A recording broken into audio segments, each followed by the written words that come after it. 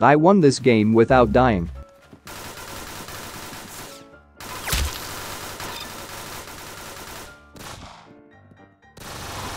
My aim is bit off today.